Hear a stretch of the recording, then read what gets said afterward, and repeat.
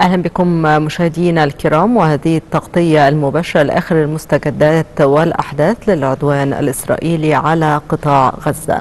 تضامنا مع أبناء غزة وفي محاولة لتخفيف الأوضاع الإنسانية الكارثية جراء هذا العدوان الإسرائيلي المتصارع على القطاع وجه الرئيس عبد الفتاح السيسي كافة الجهات المعنية بسرعة التنسيق لاستقبال الأطفال حديث الولادة من قطاع غزة.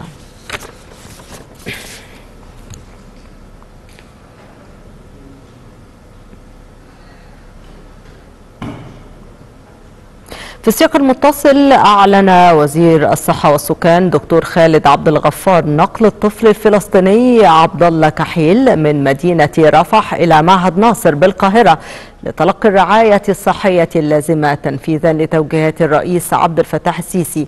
كان الطفل الفلسطيني عبد الله كحيل ناشد الرئيس عبد الفتاح السيسي عبر مواقع التواصل الاجتماعي لعلاجه بأحد المستشفيات المصرية.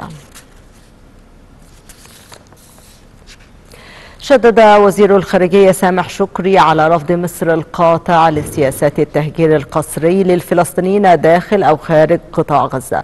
كما أكد شكري خلال اتصال هاتفي مع نظيره الأمريكي أنتوني بلينكين على ضرورة تنفيذ قرار مجلس الأمن الصادر الأربعاء لا سيما إقامة هدى وممرات إنسانية وأولوية لوصول المساعدات اللازمة للقطاع. مع توضيح أن الهدف الأساسي ينبغي أن يتركز على الوصول إلى وقف شامل لإطلاق النار. من جانبه أعرب بلينكين عن تقديره لجهود مصر في العمل على احتواء الأزمة والحد من تداعياتها مشيرا إلى حرص الجانب الأمريكي على مواصلة التنسيق مع مصر بشأن مختلف جوانب الأزمة.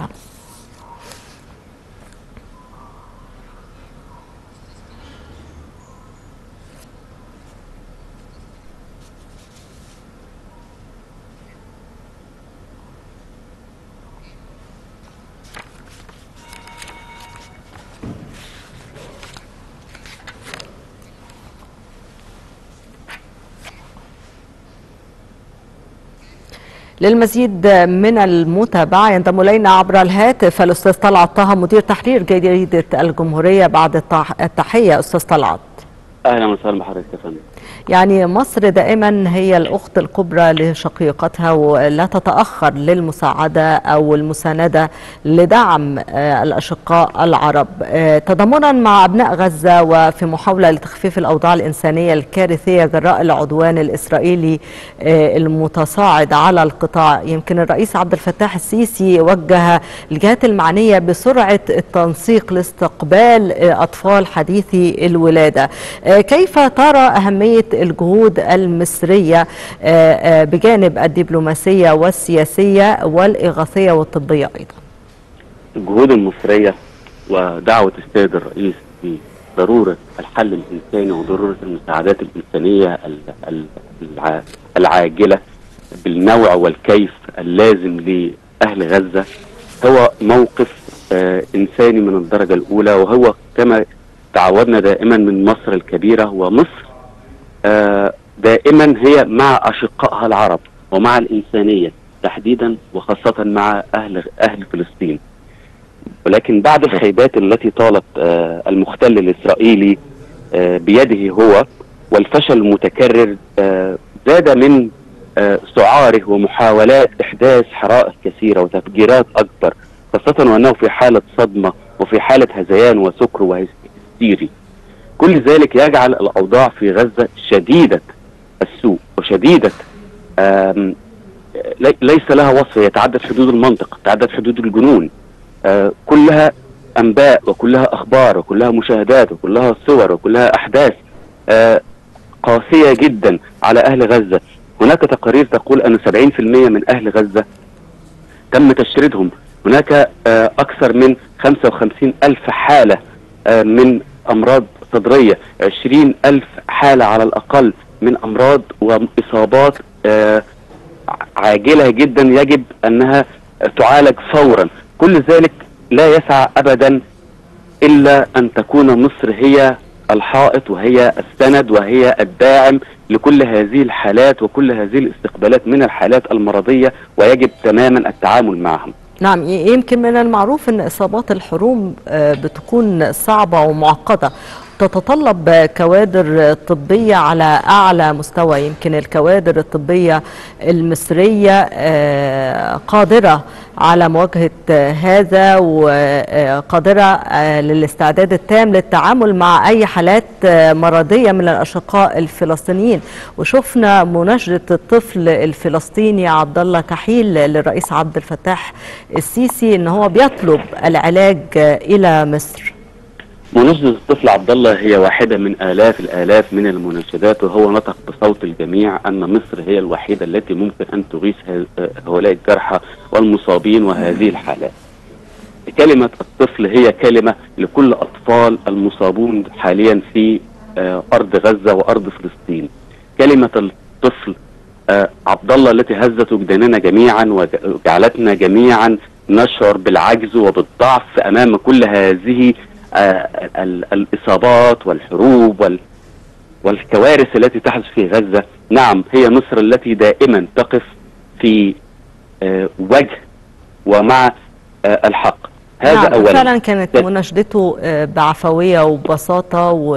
نعم ولذلك أنا أقول أنها كانت كانت صوت جميع الأطفال وجميع السكالة وجميع النساء وجميع الجرحى والعج وال... وال... وال... وال... والمقعدين. كل ذلك كان يقولون في صوت واحد هو صوت الطفل عبد الله صوته وصل إلى عنان السماء. ولذلك حينما استقبلناه وكأننا استقبلنا آلاف آلاف الأطفال نتمنى أن آلاف الأطفال يأتوا إلى مصر والنساء والرجال كي نعالجهم أو على الأقل نذهب لعلاجهم. لا ن... لا, لا, لا ابدا نتخاذل ابدا عن مساعدة أشقائنا الفلسطينيين. لا لأنها قضية إنسانية من الدرجة الأولى وقضية عربية وقضية وطنية. نعم. يمكن الدولة المصرية بتبذل جهود واسعة لإنهاء معاناة المواطنين الفلسطينيين في قطاع غزة. ممكن حضرتك تطلعنا على هذه الجهود ومستجداتها؟ يمكن الرئيس عبد الفتاح السيسي وجه بسرعة علاج الأطفال المبتسرين في فلسطين نعم.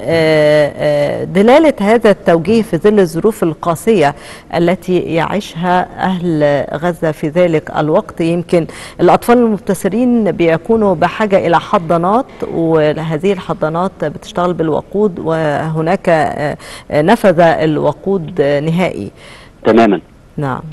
التقارير الصحفية تقول أن أكثر من 80 أو 90% من المستشفيات خرجت تماما خارج الخدمة. ومن يعمل يعمل بدون طاقة وبدون كهرباء وترفض الكوادر الطبية الخروج من المستشفيات ويعملوا بالأعمال اليدوية البدائية محاولة العلاج محاولة الصمود. ليس أكثر خاصة أن أمس كان هناك أيضا احتلال أو محاولة دخول مستشفى جنين. مستشفى جنين أمس ولكنهم انسحبوا اليوم وربما يعودوا مرة أخرى. والكوادر الطبية تم اعتقال بعضها والبعض الآخر رفض أن يخرج من المستشفى للعلاج نعم. هنا نق... هنا نقف مع آآ آآ يعني الأطفال والنساء والسكالة والمقعدين. ما ذنبهم في كل هذا الأمر؟ الأمر كله إنهم يريدون أن يحرقوا غزة ومن فيها. ولكن الأطفال هي ليست ليس لهم شأن في الأمر ليس لهم حول ولا قوة ولا حتى النساء ولا حتى العجز. موقفنا وموقف السيد الرئيس هذا يحسب له دائما أن مصر الكبيرة ورئيسها الكبير العظيم يقف دائما مهما كانت المواجهات. لأن هناك ضغوط كبيرة جدا على مصر من كل جانب. آه ألا تقف مع غزة أو ألا تقف مع هذا الأمر خاصة أن الدول الكبرى جميعا آه تقف مع آه المسمى المختل الإسرائيلي. ولذلك موقف مصر الشجاع والعظيم لا مزايدة أبدا عليه. وموقف الرئيس في كل مرة وفي كل لقاء يقول الأطفال والنساء والأرض لابد أن يتم آه احترامها. لابد أن يكون هناك ممر إنساني وعاجل وفوري. العريش الآن تكتظ بالمساعدات المصرية وبعض المساعدات التي تأتي من دول الخارج ومن الدول العربية. وفي تجهيزات لسيارات الإسعاف والحضانات بالفعل على معبر رفح من أجل استقبال الأطفال في قولا واحدا نحن تحت أمر مصر. نحن تحت أمر علاج كل الفلسطينيين الذين أصيبوا من هذه الحرب الغاشمة نحن تحت أمرهم ونحن كل تجهيزاتنا. بمجرد آه في مثال بسيط يا فندم آه بمجرد ما عرفنا يوم فجر 7 أكتوبر المواطنين العاديين البسطة جدا المثقفين المتعلمين كل الناس آه، جرت على تبرع بالدم لأن دمنا واحد إحنا والفلسطينيين دمنا واحد لا مزايدة على هذا الأمر.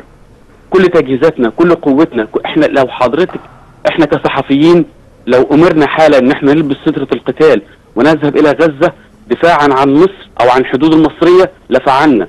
نعم. لو ذهبنا حالا أن نذهب إلى كس- أنا كصحفي أذهب إلى غزة وإن كان لي دور في علاج الأطفال أو النساء أو أي شخص أي إنسان في أرض غزة لذهبنا.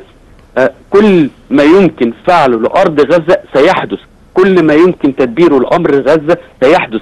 فقط هو التعنت من المختل الولاية رقم 51 ومن أمريكا. هي التي هما اللذان يرفضان أن يكون هناك ممر إنساني يرفضان أن يكون هناك مساعدة. حتى المزايدة على دخول الوقود لم يدخل الوقود حتى الآن يوم 42 إلا مرة واحدة. وهو 23 ألف لتر من احتياج آه، آه، تقريبا 9% من نعم. احتياج الأونروا للحاجات الإنسانية الملحة. ليس كمان احتياجاتها لا ده الاحتياجات الإنسانية الملحة. ودخل يوم اليوم الأربعين للحرب. وحتى الآن يعني النهارده اليوم الأربعين الوقود. آه بس آه، سيتم إدخال أول شاحنة وقود من معبر رفح آه، لغزة وده في محاولة طبعا لتشغيل المستشفيات اللي خرج العديد منها آه، خارج ومراكز لا- يعني ليس تكون لكل المستشفيات لأن معظم المستشفيات تم تم تم هدمها وتم تفجيرها وتم ضربها وخروجها عن تماما عن الخدمة الحضانات ال- الوقود مراكز الأشعة العمليات لا ما في لا يوجد حتى أدوات للعمليات وحتى للإغاثة وحتى للطوارئ لا يوجد أي شيء في غزة حاليا. غزة الآن تحت دمار شامل. نعم. ولذلك أنا أتعجب من الأمم المتحدة لكن لماذا لم نقول إنها بداية لدخولها ودخولها عبر معبر رفح يعني أكيد برضه هيكون في جهود مصرية لعودة الحياة بشكل كامل. يعني متطلبات الجهود- الحياة هناك صعبة الجهود جدا. المصرية لا- لن تقف أبدا وهي مستمرة دائما لمحاولة دخول كل ما يمكن لعودة الحياة أو لبداية عودة الحياة من جديد في أرض غزة في القطاع كاملا. ولذلك من طعام من كم ونوع آه، موجود في العريش موجود الوقود موجود الطعام موجود الشاحنات. فقط هو المعبر يتم فتحه كما طالب السيد الرئيس عبد الفتاح السيسي بشكل دائم وبشكل مستمر وبشكل عاجل وبدون شروط مجحفة من الجانب الآخر. لأن هناك أزمة وهناك كارثة إنسانية الآن تحدث في أرض غزة وهي كارثة متصاعدة يعني كارثة وتزيد وتزيد. كل يوم في كوارث أكبر وأكبر. نحن لا لا نلاحق ولا نستطيع أن نصدق كمية الكوارث التي تأتي آه، من القطاع ويمكن كاملا حجم المساعدات برغم إن هو موجود لكن لا يتناسب برضه مع الاحتياجات الفعلية على أرض الواقع. هل قالها ترى سيادة الرئيس وأكررها هي نقطة في بحر وحتى كل المساعدات التي سوف تدخل الآن في العريش تكاد تكون نقطة في بحر أو تكاد تكون بداية. نحن نريد فقط البداية أن ندخل المساعدات. الموضوع إنساني. الأطفال ليس لهم ذنب في الحرب. المبتسرين ليس لهم ذنب في الحرب. النساء ليس لهم ذنب في كل هذه الكوارث. إسرائيل تتعمد أنها تغفل تماما آه، حربها وتريد أن تعيد وجهها على حساب الضعفاء والذين لا حول لهم ولا قوة تريد أن تعيد مرة أخرى نعم. وجهها وشكلت أمس مجلس حرب داخل القطاع نفسه وقالت أنه مجلس العند أو مجلس الذي سوف يتحدى حتى آه، نتنياهو في قراراته لن نصمت أبدا إلى أن ندمر غزة ومن فيها هكذا يريد ونحن نقف. وأهل غزة ما زالوا مصرين على ال- التحمل. أهل غزة بالأمس تم إجبارهم على النزوح من الشمال إلى الجنوب. وفي نفس الوقت وهم أثناء النزوح تم ضرب طائرات عليهم بالصواريخ. وتم قتل بعضهم أمس. أمس كان هناك 100 معتقل فلسطيني. أمس كان هناك أكثر من ألف إصابة و- واعتقالات عشوائية ما بين أطفال وما بين نساء. نعم. يمكن حروب المدن بتكون حروب شرسة ومتوحشة. إلى أي مدى ممكن الشعب الفلسطيني الصمود وهل حضرتك مع أن هناك أمر منهجي بيتحضر برغم أن سكان القطاع يرغم سكان القطاع للنزوح نحو الجنوب الجنوب يعني هل ستنشئ إسرائيل جيوبا أصغر أكثر كثافة داخل غزة عن سابق تصور أو تصميم أو بصورة غير متعمدة؟ تقديري إن إسرائيل حاليا تحاول أن تفرغ القطاع الشمالي من القطاع نفسه حتى تقول إنها سوف تدخل بجيوشها وتقول أنني احتللت هذه الأرض مرة أخرى وهذه ستكون كارثة كبرى ليست نعم. على فلسطين لكن ستكون على المنطقة كلها. هذا اولا، ثانيا آه، أمس في ج- في مدينة جنين تم آه، بالجرافات أكثر من 100 دبابة وجرافة دخلوا القطاع حول المستشفى فقط على أساس أنها تحتها أنفاق ولم يجدوا أيضا كما كذبت آه، مستشفى الشفاء. تم تجريد الأرض نفسها وتم تجريف الأرض نفسها لإحداث أكبر كمية من الدمار والخراب.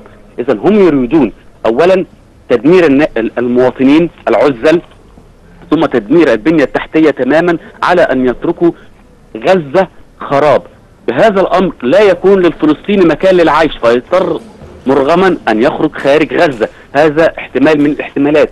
ثانيا لوحت إسرائيل قبل ذلك بح- محاولة إنشاء ممر مائي ما بين آه، فلسطين وقبرص على أن تأخذهم السفن وت- وتزيحهم إلى آه، يعني. أصبح الشمال أو الوسط آه، أو الجنوب الوسط- لا يوجد الوسط- أمان الوسط أو منطقة آمنة للعيش فيها. لا تحت أرض القطاع كاملا تحت سماء القطاع كاملا لا يوجد شبر واحد آمن في هذا القطاع تماما. آه أنا أقول لحضرتك أمس والفجر تم تسليح كل يوم آه 2000 مستوطن إسرائيلي برخص سلاح من المدنيين ويفعلوا ما يشاء به. يعني أي فلسطيني ممكن يضربوه يقول لك ده دفاع عن النفس. رغم إن هم الفلسطينيين في فلسطينيين محتجزين وموقوفين في القطاع نفسه. من يوم 7 سبتمبر لم يعودوا إلى أرض غزة ولا يستطيعوا أن يذهبوا إلى الضفة الأخرى مم.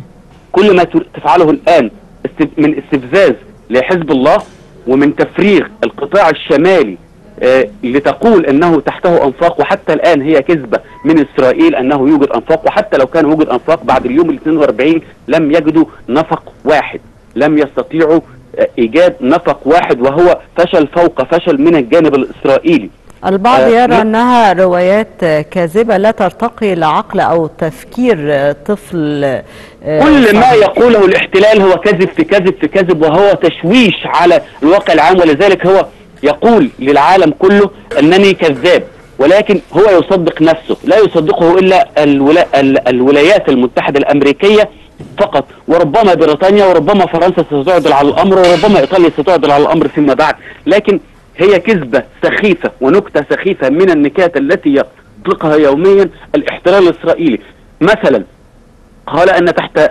مستشفى الشفاء يوجد أنفاق ويوجد آه، لحماس ويوجد بعض. الأسرى كمان والأسلحة ولم يجد غير حاسب آلي آه، وح- وحاجات خاصة بالتصوير بالنسبة للأشعة طبيعي جدا أن نجد حاسب آلي طبيعي جدا أن نجد آه، آه، قارورات لبن طبيعي جدا أن نجد حفاضات هذا ما قالوه وقالوا إننا وجدنا كليشينكوف الذي أخذوه وكان وسجل في كاميرات آه، فوكس نيوز مع ال- ال- الصحفي الأمريكي الذي ذهب معهم وقال لم أجد لا نفق تحت الشفاء ولم أجد أحد من حماس ولم أجد اسرى ولم أجد كل ما روجه الاحتلال منذ 7 أكتوبر. منذ 7 أكتوبر يصر على مستشفى الشفاء أن تحتها قاعدة لحماس أن تحتها قاعدة أنفاق وأن تحتها أسلحة وأن وأن وأن وكل هذا خيبة أمل الإسرائيلي النتنياهو الذي يحاول يقول يقول للعالم أنني هنا. كل ذلك كذب. العجيب أن مثلا أولاف آه، رئيس وزراء آه، ألمانيا يقول أن إسرائيل دولة ديمقراطية وملتزمة بحقوق الإنسان والقانون الدولي. وكل اللوم الموجه لها هنا سخيف. لا يا سيد أنت الذي تكون سخيف. وبايدن سخيف. ورئ- ورئيس وزراء بريطانيا سخيف. ورئيس فرنسا هو الذي سخيف. أنتم كذبة وتصدقون الكذاب الأكبر الأشر الذي هو نتنياهو. الجنين انسحبوا بعدما قالوا أيضا أننا نجد تحتها أنفاق ونجد تحتها لحماس أنفاق ونجد تحتها معدات ونجد ونجد ونجد ولم يخرجوا بأي شيء خرجوا بخ- بخفي حنين من هذه نعم. المعركة الأحادية هم نعم. يحاربون ولا رد هم يقتلون ولا رد هم يق- ي- يزقون نعم. وصلت الصواريخ. حضرتك بنشكرك أستاذ طلعت طه مدير تحرير جريدة الجمهورية. شكرا جزيلا لحضرتك. وينضم إلينا عبر الهاتف أيضا دكتور أحمد عبد المجيد خبير العلاقات الدولية.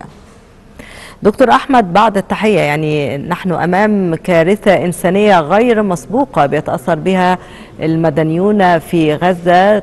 إثر الغارات التي تشنها إسرائيل دون توقف. آه، آه، كنا نتحدث اليوم عن الجهود المصرية المبذولة على آه، الجانب الدبلوماسي والسياسي وأيضا الإغاثي الطبي الإنساني. أهلا بحضرتك فندم والساده المشاهدين على قناه النيل جهود مصر المبذولة لعلاج هذا الجسر الطبي لاستقبال الأطفال والجرحى والمصابين نعم. بالإصابات العاجلة آه، يؤكد مدى. القوة الطبية التي تنعم بها مصر في آه، استقبال آه، كافة الحالات الحرجة والصعبة وهو الموقف الذي لم تفعله أي دولة أخرى ولم تقدم عليه أي دولة أخرى رغم ما لديها من إمكانيات تستطيع أن تفعل ذلك ولكن ما فعلته مصر تؤكد للعالم كله أنها تسعى لبناء الإنسانية في مقابل آلة الحرب الدامية التي تسعى إلى تدمير شامل دون تفرقة في كافة أنحاء فلسطين والشعب الفلسطيني الذي يتعرض له بهذه المحنة منذ أكثر من 40 يوما حتى اليوم. يمكن هناك اتصالات أمريكية مصرية واتصالات مصرية عربية لاحتواء آه، هذه آه، الأزمة آه، هل سيحدث مقاربات في المستقبل والعودة إلى طاولة المفاوضات والدفع بحل الدولتين كما تعودنا بعد كل صراعات دامية بين إس- إسرائيل وفلسطين؟ آه خليني أقول لحضرتك يا فندم إن مصر منذ اليوم الأول هي كانت الاتصال الأولى التي تؤكد دائما للمجتمع العالمي أن الحل دائما يوجد في مصر. فقد كانت ال- الاتصالات التي تسعى إلى وقف إطلاق النار منذ اليوم الأول ومحاولة فتح المعبر لمسانده الشعب الفلسطيني والموقف المصري التاريخي في آه، وقف هذا العدوان ووقف التهجير القسري التي سعت إليه إسرائيل والتي دعت إليه بمحاولة دفع الشعب الفلسطيني الصامد القوي نحو ترك أرضه وإخلاء القضية الفلسطينية. ودائما ما تؤكد عليه مصر آه، آه، رفضها لسياسات التهجير حتى لا يتم تصفية القضية الفلسطينية. القضية الفلسطينية يا فندم هي تشمل بناء الدولة ومفهوم الدولة هو الشعب والأرض وال- والسلطة السياسية ال- والمفهوم الشامل لبناء الدولة. إذا كانت إسرائيل تسعى لتهجير الشعب وإخلاءه من سلطته فماذا يتبقى من الأرض التي تتكون منها الدولة؟ فت- ستخلو القضية من مفهومها الأساسي التي آه، كانت إسرائيل تسعى إليه منذ آه، اليوم الأول لهذه الحرب. آه، خليني أقول لحضرتك فندم إن حالة التدمير التي تتم في القطاع تسعى إلى محاولة الضغط على الشعب الفلسطيني. ولكن هذا الشعب الذي ضرب المثل الصمود والتحدي والتمسك بالأرض وكانت المشاهد الدامية التي رآها العالم والتي جعلت الموقف العالمي بالكامل يتغير آه، وبوصلة ال- ال- ال- الرأي العام العالمي تتغير بشكل آه، في رؤية حق إسرائيل في الدفاع عن نفسها إلى آه، إن إسرائيل تقوم بتدمير وقصف هذا الشعب الأعزل وكان الشعب الفلسطيني الصامت صورته التي تصدرت إلى العالم وهو يتمسك بارضه هي التي جعلت الموقف العالمي اليوم يتجه نحو ضد إسرائيل لضغط عليها في آه، وقف آه، هذا العدوان وإدانتها وتقديم من ساعدوا في هذا هذه الحرب الدامية إلى المحاكمات العاجلة والتحقيق الدولي بشأن ما يتم استخدامه من آه، أسلحة محرمة دوليا مثل الفسفور الأبيض والذخائر ال- التي تس- تسبب مزيد من التدمير والحالات ال- ال- يعني في بعض الحالات يا فندم جت للمستشفيات المصرية مصابة بأنواع مختلفة من الإصابات ال- ال- ال- اللي خارج إطار القانون الدولي في الاسلحه القانونيه. نعم. دكتور أحمد آه، إلى متى آه، ممكن هذا الصراع أن ينتهي أن ينتهي؟ أو آه، هل البعض يرى أن هذا الصراع ممكن يتحول كما حدث في ستالينغراد أو الفلوجة حروب المدن أو حروب العصابات ويمكن ده ممكن ياخد وق- وقت أكتر؟ في البداية يا فندم خليني أقول لحضرتك إن إسرائيل تسعى إلى آه، آه، بناء آه، هذا المفهوم لدى الجيش. ففي حاجة يمكن كانت إسرائيل بتسعى إليها منذ عام 2006 تقريبا قامت ببناء مجسم مدن على شكل قطاع غزة بنفس طريقة ال- ال- ال- المدينة والازقه وال- والشوارع. وقامت بتدريب قوات الجيش عليها في دي موجودة في صحراء النقب فعلا وكانت في أكثر من الفيديوهات اللي كانت بتصور شكل الجنود الإسرائيليين وهم يحاولون التدريب على اقتحام مدينة غزة وده منذ ما يقرب 20 عاما يعني. طيب النهارده يا فندم هذا الجيش نفسه إذا عندما حاول اقتحام آه، غزة ب- من خلال الخمس محاور الموجوده في قطاع غزة أثبت فشله وفقد آه، العديد من المئات من الياته العسكرية والمئات من جنوده وآلاف الإصابات التي أصابت جنوده آه، إضافة إن إصابتهم بالهلع نظرا لأنهم يجدون المقاتل المقاومة الفلسطينية يخرج من من من أماكن غير معلومة وغير متخيلة ويتم إصابة الدبابات والجرافات آه، إحنا شفنا فندم مشهد الدبابة الميركافا التي كان يتباهى الجيش الإسرائيلي بها وهي بتصاب من طلقة واحدة ويتم إعطابها فورا. يعني في مشاهد تؤكد حالة الفشل وعدم جاهزية إسرائيل أصلا لأي حروب وليست الحرب ضد مواطنين يعتبروا مواطنين عزل.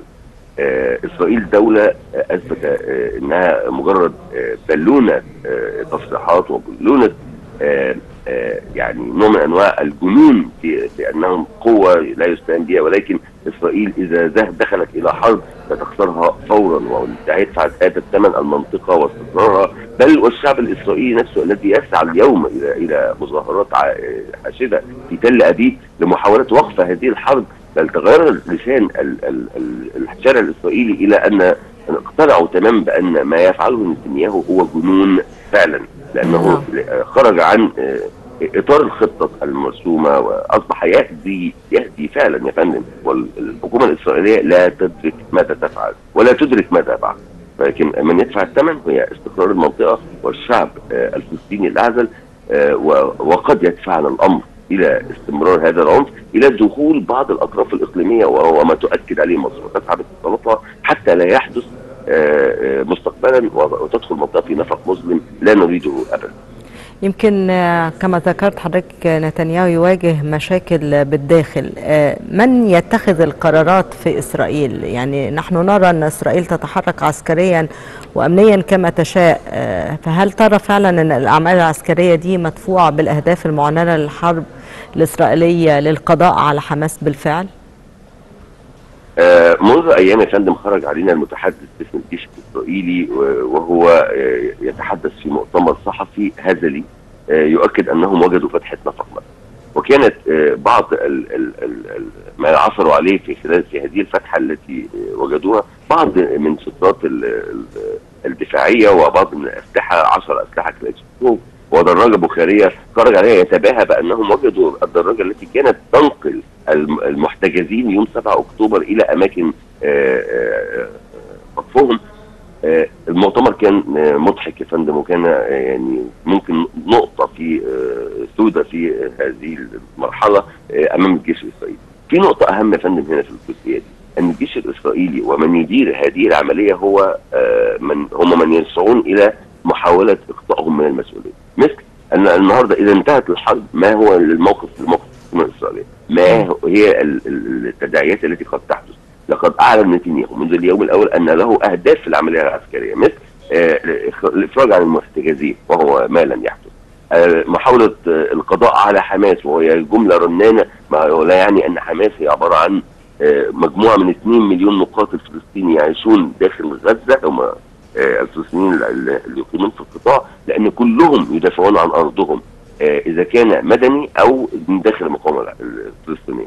نعم. آه، يمكن آه، كان آه. في تصريحات آه، أمريكية أن حماس هي فكرة ويجب إلحاق الهزيمة آه، بهذه الفكرة المنحرفة بينما آه، يعني يتشكك البعض برضو في إمكانية القضاء على أو طالما القضاء على حماس. يا فندم طالما لم تسعى إسرائيل إلى السلام فلن تشعر بالأمان.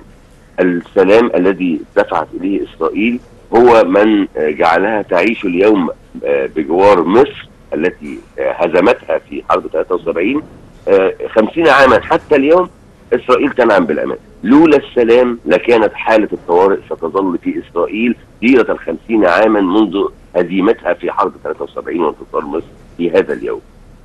مصر التي دفعت إلى السلام جعلت إسرائيل تسعى إلى البناء وتنعم بالسلام. طب لماذا لا تسعى إسرائيل إلى بناء الدولة الفلسطينية؟ والإعلان عنها والاعتراف بها وتنعم بهذا السلام. هنا ستسعى إسرائيل إلى أن تكون دولة إذا. إذا أرادت أن ينعم شعبها بهذا الأمان فلتسعى إلى السلام وبناء الدولة الفلسطينية. وهو آه الأمر الذي تسعى إليه مصر منذ اليوم الأول وهو ايقاف إطلاق النار وإنهاء هذه الحرب ينذر بأن إسرائيل لابد أن تتخذ إجراء فوري بدخول في آه، إجراءات آه، عاجلة لاعتراف الدولة الفلسطينية. وما اعلن رئيس وزراء أسبانيا خلال الأيام الماضية أنه فلسطين لابد أن تكون دولة على العالم أن يعترف بها وأن أسبانيا ستكون من أولى الدول التي تساهم في الإعتراف بدولة فلسطين إلى جانب الدول المؤسسة لهذا البناء الأصلي الذي تسعى اليه منذ أول يوم. في والأهم أعتراف الولايات المتحدة نفسها بدولة فلسطين. يمكن هو ده الباب اللي ممكن يفتح آه، لحل الدولتين أو لكي ينعم آه، آه، الكل بالسلام في المنطقة. لا أحد ينكر أن الولايات المتحدة الأمريكية لها دور فعال في بناء عملية السلام أو الاعتراف بدولة فلسطين. ولكن آه، الموقف الأخير للولايات المتحدة بدعمها الأعمى لإسرائيل في القتل آه، قد يغير. الموقف العالمي في الاعتماد كلية على موقف الولايات المتحدة تحديدا. بل سيكون الموقف عبارة عن حالة ضغط عالمي دولي آه، تسعى إليها. الدول الداعمة للسلام بإجبار الولايات المتحدة على قبول هذه الشروط. بل أن إسرائيل اليوم هي التي قد تطلب ذلك من الولايات المتحدة لأنها آه، آه، خسرت في هذه الحرب كما خسرتها في جميع المواجهات السابقة مع الفلسطينيين. آه، محاولة إسرائيل آه، إظهار نفسها بأنها قوة ما يعني خليني أقول لحضرتك إن المشهد ده انهار تماما عالميا عند الذين كانوا لا يعلمون خلال الأيام الماضية بحالات التدمير الشامل التي كانت موجودة للقوات الإسرائيلية داخل القطاع حضرتك اتكلمت عن مسألة حرب شوارع من من آه، يعني آه، جزء الجزئيه السابقة في السؤال آه، الحرب التي لا تقوى عليها إسرائيل هي حرب المواجهات المباشرة. إسرائيل عندما تقوم بالقصف والتدمير من خلال الطائرات أو من خلال المدفعيه فهي لا تسعى إلى المواجهة المباشرة، لكن المواجهة المباشرة بالنسبة لها هي آه، نقطة ضعف مباشرة وهو لا تع... وهو ما تعجز عنه إسرائيل وستعجز عنه في المستقبل لأنها لا تقوى عليه. حل الدولة الفلسطينية يا فندم هو إجبار عالمي للولايات المتحدة وإسرائيل على قبوله لأنه أمر أصبح مفروغ منه ولا يقبل ابدا المناقشات ولا يقبل ابدا أن يتنازل عنه أحد في حال في ظل هذه الحالة من الاباده الجماعية والقتل الأعمى الذي تسعى إليه إسرائيل آه، منذ الأربعين يوما في هذا نعم إحنا بنشكرك دكتور أحمد عبد المجيد خبير العلاقات الدولية.